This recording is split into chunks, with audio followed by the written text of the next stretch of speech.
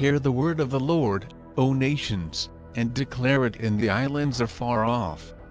Say, He who scattered Israel will gather him, and will keep him as a shepherd keeps his flock. For the Lord has ransomed Jacob, and has redeemed him from hands too strong for him.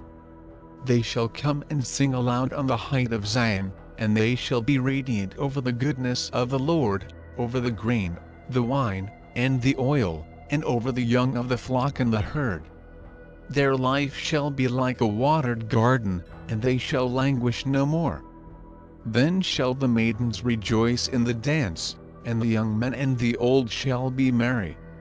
I will turn their mourning into joy, I will comfort them, and give them gladness for sorrow.